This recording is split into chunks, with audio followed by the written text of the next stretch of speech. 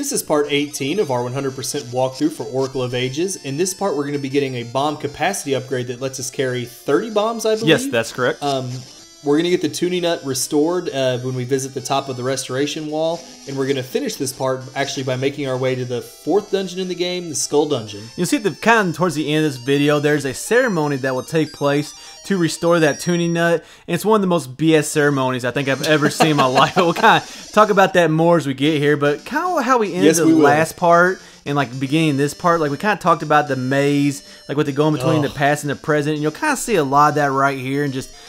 I mean, that can be like we said we didn't like it, and just this is where it kind of got confusing for me. It, it really does. And learning that song that let us easily go from the past to the present, it was neat, but it definitely opened up the game's ability to really throw so many of these, like, pu- not puzzles, Yeah. but like you said, uh, maze, these obstacles in our path. And it just gets more and more tedious as the game goes along. It does. I kind of, I kind of do like a part where we have up here, where like we move a block in the past, Yeah, I do like- or the, mhm. And it changes like the flow of the water and that's a neat idea kind of similar to what we talked about with symmetry city but again this maze is it, it's starting to get complicated it's almost like there's too many resources. You know what I'm saying? Like, like I like the Yeah. game when it's simplified. Like I know Zelda games like really aren't that simple, but like, like it's kind of gets to the part where we have too many resources, we have too many capabilities, and just. I remember that's It one of these things that confused me about the game so much was the whole back and forth between the time and the present or the past Yeah. and the present. Yeah, we get time travel in a lot of Zelda games, but this one it just felt like we did it quite a bit more than other Zelda games. well it's like they took the whole concept of like traveling back and forth between the light world and dark world that we kind of hinted at in the previous Yeah, part uh-huh. from link to the past and they blew it out of proportion to this whole new extreme Yeah. where the entire game is based around that and, it, and I remember a, a while back, I think we were talking about uh, A Link to the Past again, talking about the Swamp Palace was like a fun water dungeon, and then you hit the Water Temple in Ocarina of Time, where they take Yeah, a concept and just blow it up into something it doesn't need Yeah, to be. exactly. Well, I mean, like the Oracle of Ages is more based on puzzles. That's kind of how it's different from uh, seasons. Like we said, I think it's more combat. Yeah. So I kind of do understand like why they went that direction. Because hey, we want to make a puzzle game, so we want to make it more difficult, kind of going back and forth between time, find the right places on the ledges. But just to me, it was just too frustrating. But at the same time, I I know agree. there's a lot of people that rank this game very high, and I think it is because of like just you know, the uh, mind not altering, mind uh, boggling puzzles, mind boggling puzzles. puzzles. I get there eventually. I will say I'm glad we got the bomb upgrade because if you remember back to when we were in the uh, the Moonlit Grotto, Uh-huh. there were a few times we were only carrying ten bombs and we were trying to use them to kill uh, Armos's.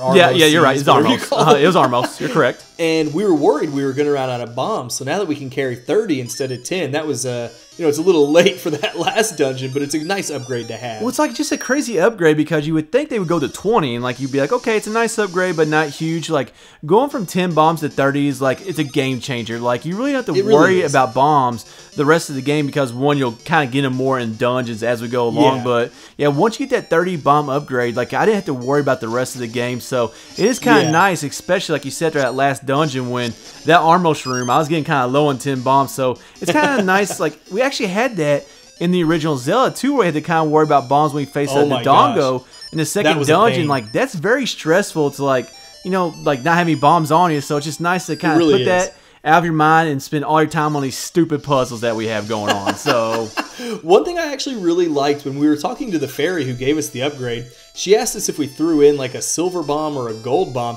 And I don't know about you, the bomb upgrade is nice, but I would love to know what in the world a gold bomb or a silver bomb is going to do. Is it like going to blow up everything on the screen like the Bombos medallion, medallion or Yeah. something like that? Well, I I, didn't- want the gold bomb. I didn't try like what those two were, but I guarantee like she says though, like you know, you're lying and she'll like either take Yeah. health away from you or maybe take rupees away from you. I'm assuming it's something like that. Now, Yeah. if you did get one bomb in exchange for the 30 bombs, I mean, depending on how strong that bomb was, and like it, I don't know, maybe blow up a whole dungeon. I mean, that might be worth it actually. So I, I'd take it. I'd take it. exactly, exactly. So Now, climbing the restoration wall, you brought up, and I'd kind of forgotten about this. It reminds me a, a lot of climbing like Mount Crenel back in uh, Minish Cap, where you've got the boulders coming down and everything while you're climbing the mountain. I really like that nice throwback. To, uh, to or throw forward, I guess, because Minish Cap came after this. Eh, let's not let's not get to the whole timeline and where they Yeah. are on the. T- are you talking about the timeline or the uh, release date Like of when the, the game were released, when it was actually released. I think Minish Cap was released Okay, yeah, that's whatever. Like wherever the game was at, it definitely was after this one because it's on the Game Boy Advance. That's right, Versus that's the Game. Boy Color, but yeah, cool little flashback to also uh, Mount Crenel, like you said, but also Link to the Past too, when we're kind of going up in Oh, Death yeah. Mountain. We had those boulders coming down, so just I don't know, kind of cool flashback. You know, actually in the Yeah. original Zelda, we had two with the boulders, so We did, we did, and now we're at that ceremony that you kind of mentioned in our int- or when we first started Yeah, this uh-huh. part. It's like the whole idea is he's got this ceremony to restore the the Tuni Nut, and basically he sets it on a stupid mine cart, yeah. And we ha- a mine cart track. No, no, he put he puts on the he puts on the green spot, and then the mine Yeah. cart goes around, and the mine cart can hit the nut and destroy it. Which, like I said, what kind of ceremony is that? That's more of like a trap, which he'll kind of hint at as we talk to him more and more. Yeah. It reminds me of when we were talking to the guys on Crescent Island that kept saying, "Oh yeah, I totally intended to give you your items back." You know? Yeah, guy's like, exactly. Thank you for participating in my trap. Wait, I mean ceremony. Yeah. So you know the guy's just trying to get some entertainment. Even he said himself that he hasn't had any visitors in ages. So I feel like he's just trying to spice up his life. Well, did you see the you top know? of the wall that he lives at? I mean, there's boulders coming down nonstop. So, Oh, yeah. I don't know why he would expect any visitors, anyways. But this is actually a pretty tough game. I think I'll do it on the first be. try right here because, well, that's how I stop my recordings. I stop them right before hard games. But we actually will visit this layer on too in the game, and it's a lot Yep. tougher the second time around. But basically, like all you gotta do is hit the enemies in the holes, and if you can't Yeah. get to them before the minecart comes around, just step on that switch. It'll, ta- it'll change the track. So I mean, it's not Yeah. a very hard concept, but it kind of is hard to pull off because those hard hat beetles or whatever will kind of push you a little bit off that switch. They will, and if you're off the switch when that minecart comes around and hits the, the Tuni Nut, it, it, you basically have to replay the game. And like you said, it's not the most difficult this time No. around. But this is Uh, not a situation. This is not a situation where you want to bust the nut. You know what I'm saying? It's not. It's not that kind of a few times in life, situation right there.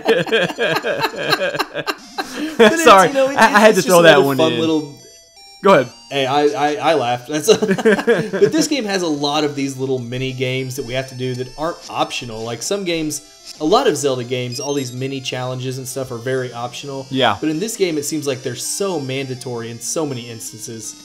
And they're not, like I said, they're not easy games. Like when you go to a Rolling Ridge later on, there's a bunch of like Goron games that we'll play, and that's really, I guess I shouldn't really spoil it too much, but that's really what turned me off to this game. But like kind of going along with what you said, there's a lot of difficult mini games in this game. So just Yeah. one thing that I actually kind of found surprising for a Zelda game. Now we talked a little bit about like the things we did in the past that affect the present. I love how much better Symmetry City when we Yes. come back to the present. But now that we're here, this is going to go ahead and wrap up part 18 of our 100% walkthrough for Oracle of Ages.